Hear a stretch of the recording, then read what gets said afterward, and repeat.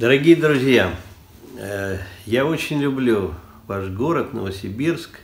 Мне кажется, там живут замечательные люди, которые прежде всего любят хорошее кино.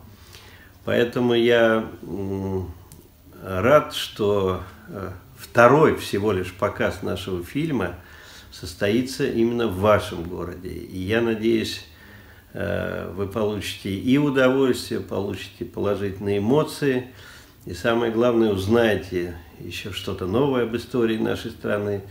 И надеюсь, что вы выйдете э, и в хорошем настроении, и передадите, э, если, конечно, у вас будет желание, вашим близким, знакомым, о том, что есть такой фильм «Матильда», и я очень хочу, чтобы его посмотрело как можно больше людей.